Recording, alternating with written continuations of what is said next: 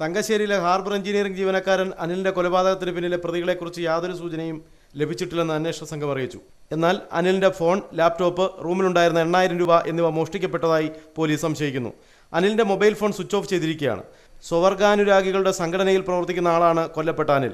ഈ സംഘടനയ്ക്ക് വേണ്ടിയുള്ള അവകാശങ്ങൾ നേടിയെടുക്കുന്നതിന് വേണ്ടി നിരവധി സമരങ്ങൾക്ക് അനിൽ നേതൃത്വം നൽകിയതായും അന്വേഷണ സംഘം കണ്ടെത്തിയിട്ടുണ്ട്. ഈ സംഘടനയുമായി ബന്ധപ്പെട്ടും പോലീസ് അന്വേഷണം ആരംഭിച്ചു. എന്നാൽ ഈ സംഘടനയെ എതിർത്തിരുന്ന ചില സംഘടനകളും കൊല്ലത്ത് സജീവമാണ്. സ്വവർഗാനുരാഗികളോട് കടുത്ത എതിർപ്പ് പുലർത്തിയിരുന്ന സംഘടനകളാണിതെന്നും പോലീസ് അന്വേഷണത്തിൽ വ്യക്തമായിട്ടുണ്ട്.